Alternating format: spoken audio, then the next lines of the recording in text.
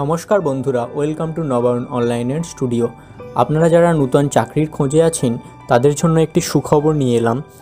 পশ্চিমবঙ্গের বন দপ্তরে বন সহায়ক পদে নিয়োগ করা হচ্ছে। প্রায় দু হাজার কর্মী নিয়োগ করা হচ্ছে এই বন সহায়ক পদে। আপনারা যারা এই পদের জন্য আগ্রহী, তারা আবেদন করতে পারেন। কীভাবে আবেদন করতে হবে, কোথায় আবেদন করবেন, বিস্তৃত তথ্য এই ভিডিওর মাধ্যমে জেনে নিন। ওয়েবসাইটটির লিঙ্ক আমি আপনাদেরকে ভিডিওর ডেসক্রিপশনে দিয়ে রাখব। আপনারা সরাসরি সেখানে চলে আসবেন। এখান দিয়ে নিচে স্ক্রোল করে এসে দেখুন তিরিশ সাত দু হাজার কুড়িতে একটা নোটিশ দেওয়া হয়েছে।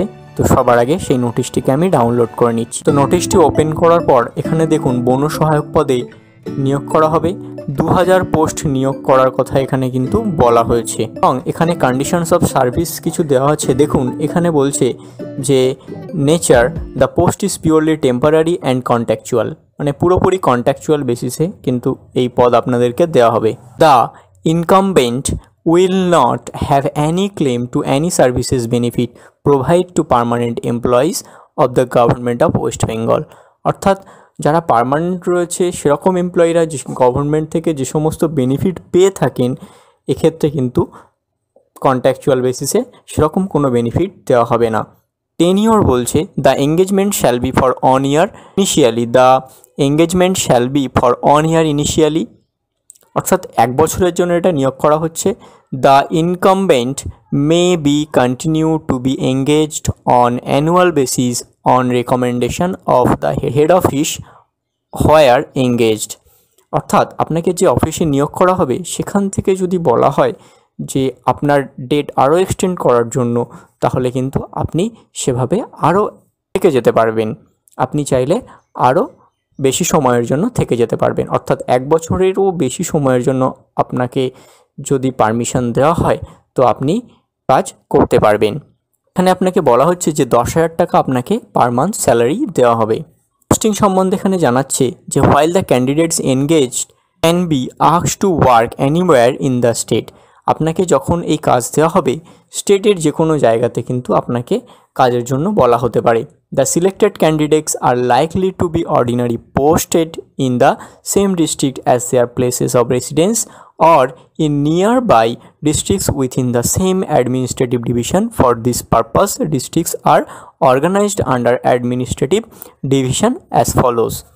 তো আপনার ডিস্ট্রিক্টের কাছাকাছি আপনাকে রেসিডেন্স হিসেবে আপনাকে দেওয়া হবে কাছাকাছি কীরকম দিতে দেওয়া যাবে তার কিছু হিন্টস আপনাদেরকে এখানে দেওয়া হয়েছে আপনারা এটা আপনাদের এলাকা অনুযায়ী দেখে নেবেন পরে বলা হচ্ছে যে টার্মিনেশন সম্বন্ধে engagement is likely to be terminated on the grounds of the indiscipline অর্থাৎ কোনো রকম যদি ইনডি ইনডিসিপ্লিন দেখা হয়, তাহলে কিন্তু আপনাকে কর্মক্ষেত্র থেকে বার করে দেওয়া হতে পারে। অর্থাৎ যে কোনো সময়ে আপনাকে ডিসচার্জ করে দেওয়া হতে পারে।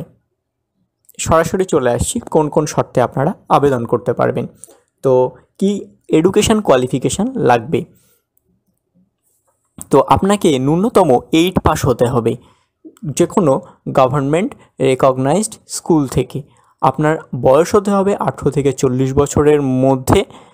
আপনার বয়সটাকে হিসাব করতে হবে ফার্স্ট জানুয়ারি দু হাজার কুড়ি।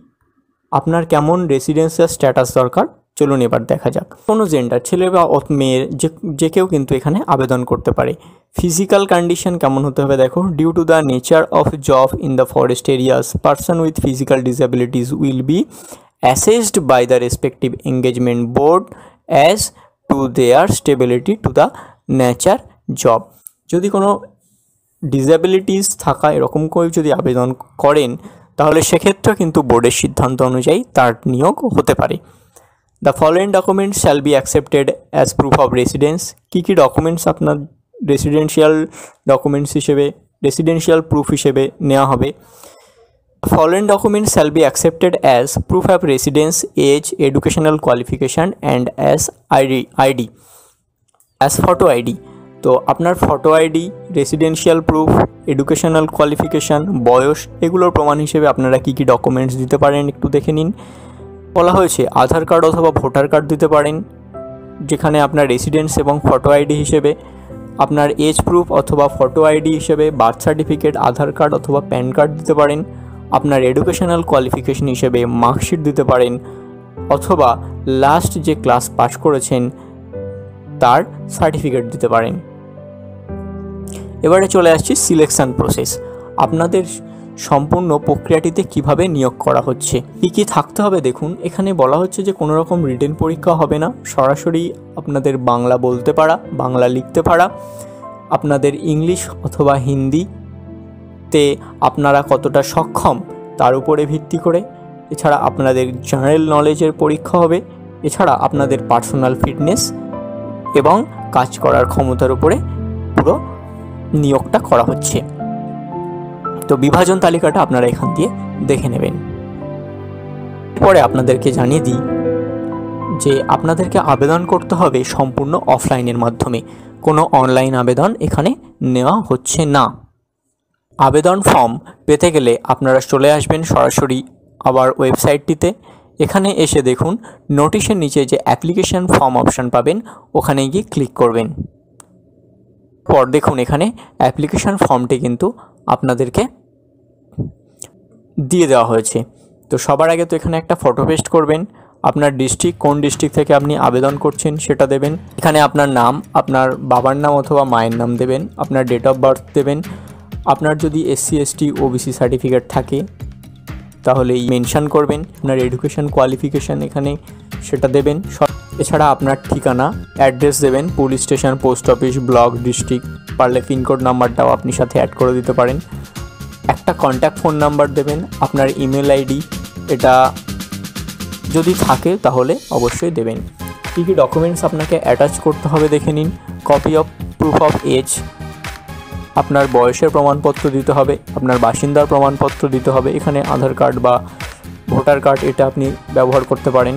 আপনি কোনো কাস্ট সার্টিফিকেট হোল্ডার হন, তাহলে আপনার কাস্ট সার্টিফিকেট দিয়ে দেবেন, সাথে এখানে একটা সিগনেচার করে দেবেন, বসিয়ে দেবেন।